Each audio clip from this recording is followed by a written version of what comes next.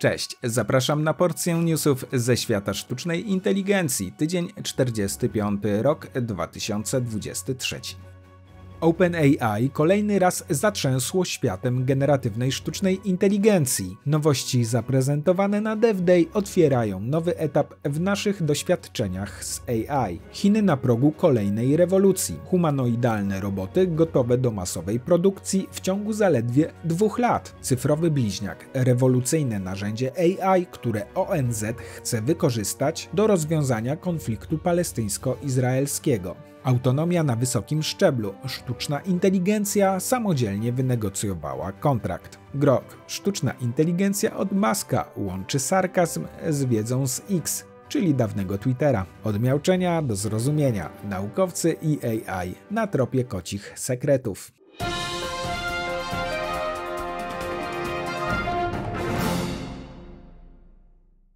Przed konferencją dla deweloperów zorganizowaną przez OpenAI krążyło w sieci wiele spekulacji na temat tego, co zaprezentuje nam twórca ChatGPT. I faktycznie, kto oczekiwał niesamowitych wieści, z pewnością się nie zawiódł. Główną premierą była prezentacja nowego modelu, czyli GPT-4 Turbo. Charakteryzuje się on przede wszystkim możliwością obsługi aż 128 tysięcy tokenów, co odpowiada około 300 stronom maszynopisu. Do tej pory maksymalna liczba tokenów GPT-4 wynosiła 32 tysiące. Wiedza nowego modelu została wydłużona i sięga kwietnia kwietnia 2023 roku. Korzystanie z niego sporo też potaniało, nawet trzykrotnie. Ponadto deweloperzy dostali do dyspozycji funkcje Vision, Advanced Data Analysis i DALI 3, a także nowe narzędzie Text-to-Speech i Assistance API. Co to oznacza? Cóż, otwiera to przed programistami zupełnie nowe możliwości budowania absolutnie niesamowitych aplikacji i zapewne w najbliższym czasie zobaczymy wiele naprawdę niezwykłych narzędzi AI. Dużych zmian doczekał się też chat GPT. Od teraz funkcje takie jak Vision, Advanced Data Analysis czy DALI-E są dostępne w jednym oknie. I jest to moim zdaniem ogromna zmiana, bardzo ułatwiająca życie. Na przykład wrzucam takie oto zdjęcie przyjaciela i proszę o wykreowanie grafiki w stylu obrazu malowanego akwarelą. I cyk, funkcja Vision czyta zdjęcie, a DALI generuje obraz. Ale to nie koniec. Oto przed Państwem GPTS, czyli spersonalizowane czaty wyspecjalizowane do konkretnych zadań. Mogą one oczywiście korzystać z narzędzi dostępnych w chat GPT GPT, takich jak wyszukiwarka czy DALI 3, ale dodatkowo możemy je zasilić zewnętrzną wiedzą, wgrywając po prostu odpowiednie pliki. A co jeszcze ciekawsze, to możemy również połączyć takiego bota z zewnętrznymi aplikacjami, np. kalendarzem czy mailem i w ten sposób zacząć automatyzować swoją pracę. Tak oto generatywne AI staje się interaktywnym AI dla ludu, bo najlepsze w tym wszystkim jest to, że sami bez umiejętności kodowania, opierając się tylko na języku naturalnym. Możemy tworzyć GPTS-y dla siebie, znajomych, a wkrótce także dla innych i za pośrednictwem specjalnego sklepu będziemy mogli na tym zarabiać. Wielu użytkowników ma już dostęp do nowej wersji czata. Warto też podkreślić, że działa on teraz na nowym modelu z wiedzą sięgającą kwietnia 2023 roku. Niewątpliwie OpenAI po raz kolejny zmienia zasady gry i udowadnia, że jest absolutnym liderem w dziedzinie generatywnej AI. Warto też czytać między wierszami wypowiedzi sama Altmana w czasie konferencji, a także udostępnienie wielu narzędzi zahaczających o koncepcję agent GPT, która to zapewne będzie podstawą autonomicznej ogólnej sztucznej inteligencji, może czynić nieco bardziej prawdopodobnymi plotki mówiące o tym, że OpenAI jest już blisko, a nawet, że już osiągnęło wewnętrznie AGI. Chiny ujawniły ambitny plan masowej produkcji zaawansowanych robotów humanoidalnych, która ma wystartować do 2025 roku. Ministerstwo Przemysłu i Technologii Informacyjnej opublikowało dokument, w którym porównuje potencjalny wpływ robotów do rewolucji, jaką przyniosły smartfony. Mimo braku szczegółów, Chiny podkreślają, że roboty te będą miały zdolność do przeobrażenia świata. Chiński startup planuje rozpocząć masową produkcję swojego robota robota GR1 już w tym roku, a inne firmy, takie jak amerykańska Agility Robotics, również dążą do masowej produkcji robotów humanoidalnych. Nawet Tesla Ilona Muska pracuje nad własnym robotem Optimusem. Czy stoimy na progu nowej ery, w której roboty humanoidalne staną się tak powszechne jak smartfony? Czy możemy się spodziewać, że te zaawansowane maszyny będą wspierać ludzkość, czy też staną się wyzwaniem dla naszego sposobu życia i pracy?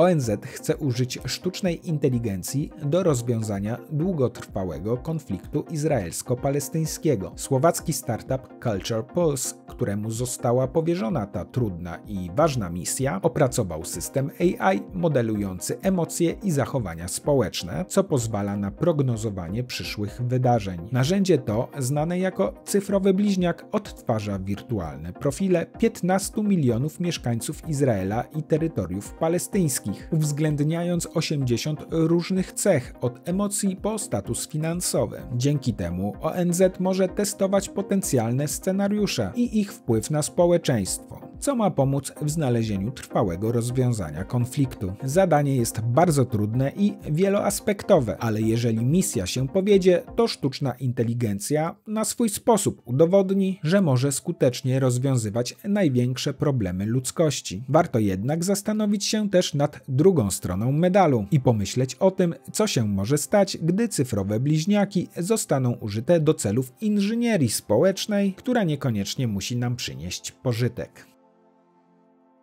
Brytyjska firma Luminance opracowała system AI, który samodzielnie negocjował umowę z innym AI, bez udziału ludzi. Narzędzie oparte na własnym, zaawansowanym modelu językowym automatyzuje analizę i modyfikację kontraktów, co ma na celu znaczne zmniejszenie papierkowej pracy, pozwalając prawnikom skupić się na bardziej kreatywnych zadaniach. W demonstracji technologii AI szybko analizował klauzule i finalizował kontrakt w ciągu kilku minut. Luminance podkreśla, że ich narzędzie jest bardziej zaawansowane niż inne ogólnodostępne modele językowe językowe, będąc specjalnie dostosowane do potrzeb prawniczej branży. Czy jesteśmy świadkami początku nowej ery w prawie, gdzie AI przejmuje rolę negocjatora, pozostawiając ludziom jedynie rolę obserwatorów? Jakie inne profesje mogą zostać zrewolucjonizowane przez sztuczną inteligencję i czy jesteśmy gotowi na te zmiany? Elon Musk podczas pierwszego dużego szczytu dotyczącego bezpieczeństwa sztucznej inteligencji zaprezentował produkt swojego startupu AI, bota o nazwie Grok. Wyróżnia się on nie tylko zaawansowaną technologią, ale także poczuciem humoru. Zamienia na przykład w żart odpowiedź na pytanie o sposoby na produkcję kokainy. Musk podkreślił, że Grok jest sarkastyczny i że ma dostęp do bieżących informacji za pośrednictwem platformy X, wcześniej znanej znanej jako Twitter. Czy Grok, łącząc sarkazm z dostępem do aktualnych danych, stanie się przełomem w świecie AI? Czy też jego humorystyczne podejście wywoła głównie kontrowersje? Naukowcy używają sztucznej inteligencji do interpretacji wokalnych i fizycznych sygnałów wielu różnych zwierząt. Ostatnio kotów. Profesor Daniel Mills z Uniwersytetu w Lincoln podkreśla, że koty wyrażają bogactwo emocji poprzez wielorakie ekspresje twarzy, które różnią się w zależności, czy są to interakcje z ludźmi, czy z innymi kotami. Badania wskazały, że zwierzaki te mają aż 276 różnych mimik twarzy podczas komunikacji z innymi przedstawicielami swojego gatunku. Tym samym koty dołączyły do wielorybów, nietoperzy, a nawet kur, których język naukowcy starają się zgłębić za pomocą sztucznej inteligencji. Czy technologia pozwoli nam wkrótce znacznie efektywniej komunikować się ze zwierzętami? Jak wpłynie to na nasze relacje z nimi? I czy pozwoli nam stworzyć lepszy świat dla wszystkich gatunków? Dzięki za uwagę i do zobaczenia wkrótce. Cześć!